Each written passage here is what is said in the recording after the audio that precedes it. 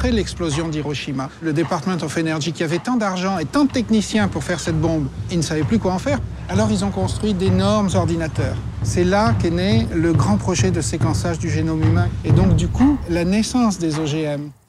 Ce qui marie diaboliquement ces deux technologies, les OGM et le nucléaire, c'est l'irréversibilité. これはどちらもいずれは取り去ることができます放射能についてはどうなのかっていうことになると全くこの先わからないっていうことが Le nucléaire, ça veut dire opacité, ça veut dire secret, ça veut dire mensonge.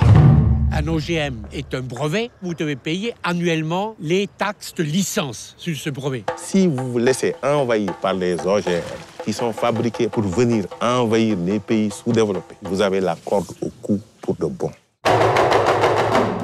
Quels sont les risques des OGM sur la santé? Personne n'en sait rien. Quoi. Monsanto avait fait une étude qu'elle a cachée parce qu'elle ne voulait pas le montrer. Très clairement aujourd'hui, il y a des risques graves. Les semenciers s'opposent à donner leur OGM pour qu'on les teste. Les premiers qui veulent pas de la recherche, c'est eux.